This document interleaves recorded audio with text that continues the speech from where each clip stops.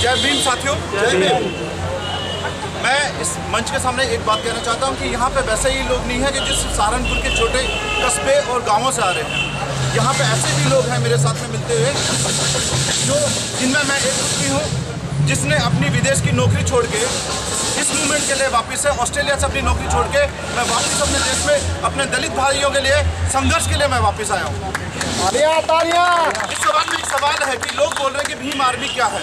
एक सवाल मैं इस पूरे मीडिया के सामने करना चाहता हूँ कि अगर सवाल उठता है कि भीम आर्मी है अगर आप एक आदमी एक आदमी जो अपनी दलित बहन और बेटियों के सम्मान के लिए सहारनपुर में लड़ता है तो आप उसको देशद्रोही कहते हैं। ठीक है मैं एक सवाल ये करना चाहता हूँ कि तो चित्तौड़गढ़ में जो रानी पद्मावती के लिए लड़ रहे हैं जिनको ये तक नहीं पता कि राना पद्मावती ज़िंदा थी या कोई काव्य में कोई राजकुमार रा, रानी थी उसके लिए वो जो करनी सेना वाले कर रहे हैं तो वो क्या देशद्रोही नहीं है? अगर आप भीम आर्मी को अगर आप देशद्रोही कर रहे हैं तो जो करनी, जो सेना कर रही है, वो कहाँ से है?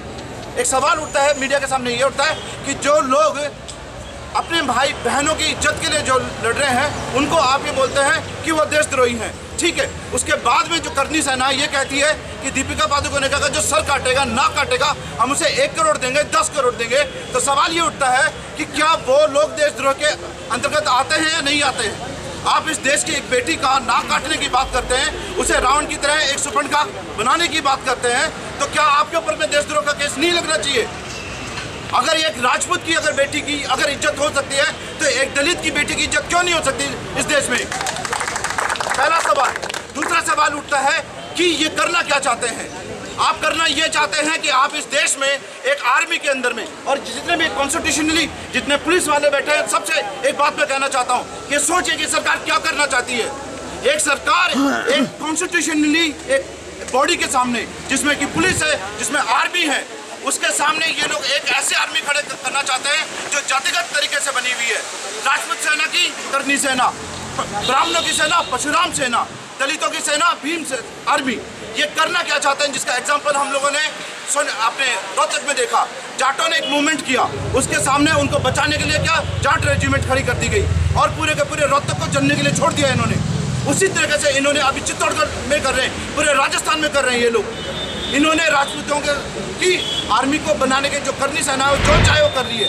हर जगह पे संघर्ष कर रही है, हर जगह पे मोर्चा निकाली, हर जगह पे रैलियाँ कर रही है। उनको रोकने के लिए कोई नहीं है। पर एक दलित अगर यूपी भवन के सामने जाके अपनी बात करना चाहेगा तो उसके सामने ये लोग बात नहीं करने देते।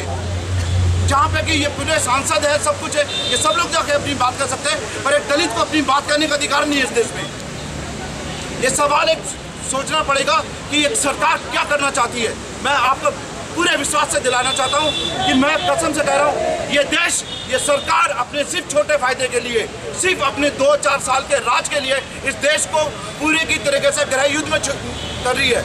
अगर यही करते रहे तो हम में अगर राजपूत सेना बन सकती है, करनी सेना बन सकती है, परशुराम सेना बन सकती है, हिंदू वाहिनी बन सकती है तो मैं ये पूछना चाहता हूँ कि अफ़गानिस्तान में क्या प्रॉब्लम थी? वहाँ पे भी तो ये बने पश्तून सेना, हिजाब सेना, ये सेना, वो सेना, वो भी तो वही कर रहे थे। आज एक हिंदुस्तानी एक हिंदुस्तानी का दुश्मन हो गया। क्यों हो गया? क्योंकि वो राजपूत है, ये दलित है, वो ब्राह्मण है। सरकार करना क्या चाहती है आखिर में?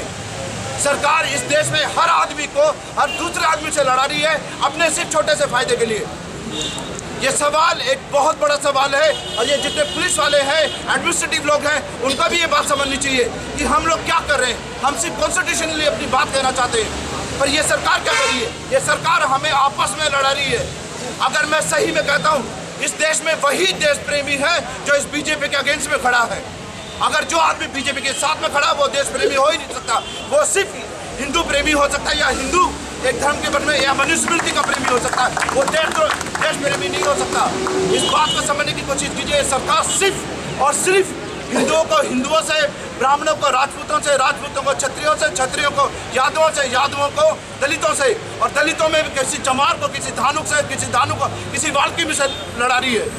पर यह सवाल हमारे सबके सामने है, क्या हम लोग इन लोगों की तरह क्या लड़के एक दूसरे का साथ छोड़ के करेंगे या फिर इस धरती की जो कीमत है वो हम लोग इनके लिए पे करेंगे?